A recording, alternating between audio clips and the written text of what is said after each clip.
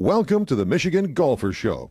Join us each week as we explore the people, the places, and the events that shape our great game. Hi, I'm Mike Chumber, Director of Golf for Boyne USA Resorts, and to my right, our good friend, Mr. Ken Devine, former Executive Director from the Michigan PGA. We're here at the Novi Golf Show, so that must mean golf season's right around the corner.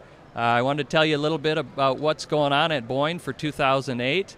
Uh, this year, we're very excited about a couple things. One being our golf package that we're coming in at 109 per person. That includes lodging, breakfast the next day, unlimited golf on any of five courses, uh, casino voucher worth $25, range balls, so all you can play for just 109. We're very proud of that, and we're getting a lot of bookings here at the show. Hope you can come up and see us. Also, this year, new for 2008, we have a caddy program at the Heather. So we're bringing back a little spirit of the game on the Heather, and hope you can enjoy our caddy program and um, walk around on the beautiful Robert Trent Jones design at Boyne Highlands. As you know, at Boyne Mountain, we have our Mountain Grand Lodge and Avalanche Bay, which are going strong with all the snow up there and all the skiers. So hopefully, you'll still get to come up this winter season and enjoy that amenity. Uh, as we roll into the golf season that we touched on earlier, we have many events on the calendar. Uh, in our great relationship with the Michigan PGA, we have a Michigan Open qualifier. We have uh, our state pro am in early June. We have the AJGA again this year, Coca Cola sponsored event, which is the first week of July at Boyne Highlands. So, some of the best junior golfers from around the country will be playing at Boyne Highlands. The start where Phil Mickelson got his start, Tiger Woods. It's an event we're very excited to host, and uh, we have a great relationship with the American Junior Golf Association.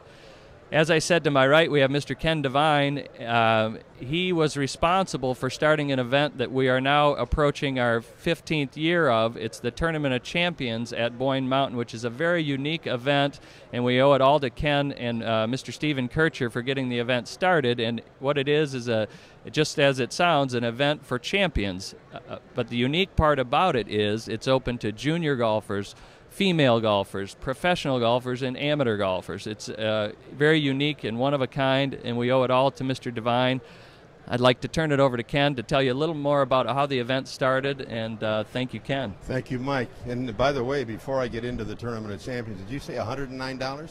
Correct, 109. I can't stay home for $109 a we day, like Mike. I'm, so. I'm going to come up for the month.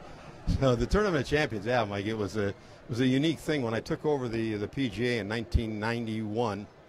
Uh, it was after a, an unfortunate situation in the uh, in the section, and going through cleaning out files, I found a letter from your boss, Stephen Kircher, where it was requesting the uh, Michigan Open be played up at Boyne. Well, unfortunately, at that time, the, not unfortunately, but we had an agreement with uh, Brand X up in Traverse City, and uh, that was for six years. So, I think it was in 1992, 90 yeah, 91 or 92, I think it was. Could have been 93. Uh, in trying to create a new tournament that would benefit all golfers in Michigan, uh, I really stumbled in my mind across the Tournament of Champions. And I just had the basic plan of it, and uh, out of the blue, that letter from Stephen popped into my mind.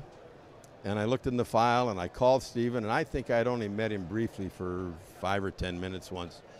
And I asked him if he was still in, interested in a tournament that could compete with the Michigan Open for prestige and image and, uh, and, and, and more importantly, media coverage.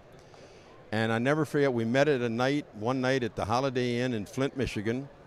And we sat there and talked it over, and then we hammered it out the details. And what really turned him on, uh, and, you, and you touched on it, was the fact that seniors, juniors, professionals, amateurs, all qualified for the event. Now the people may wonder how did they, how did you play such a thing?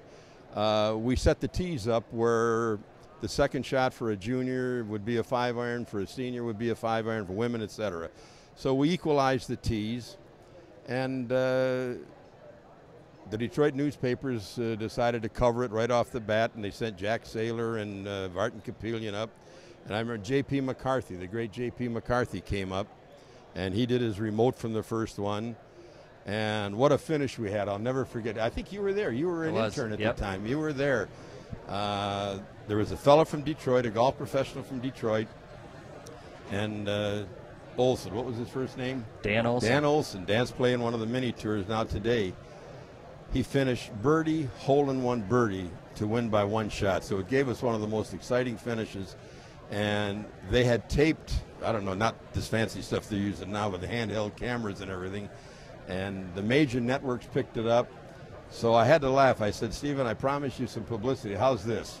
Yeah, that, I, I remember that. We called it the area code finish at that time, 313, the 313 area code, and it, it was so exciting, and you couldn't have picked a better way to kick off a great event. Well, Boyne has been a great, great uh, venue for the Michigan PGA and for everybody. The, the Golf Association of Michigan, you're good enough to have their events up there. AJGA.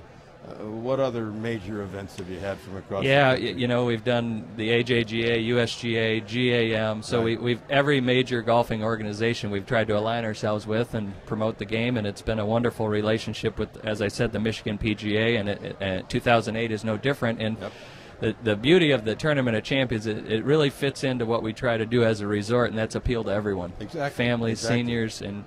And in fact, our tagline at Boyne is "What are you up for?" And that's really why that's such. It's been such a great marriage with the Tournament of Champions. Well, the, the beauty of Boyne, not only being a great facility and, and, and people oriented, you give back to the game of golf. You give back to your junior ski program is second to none in the world, I think. So Thank you. Uh, you, you, you, you give back, and uh, I'd urge everybody to support you in, in every endeavor you undertake. Thank you, Ken.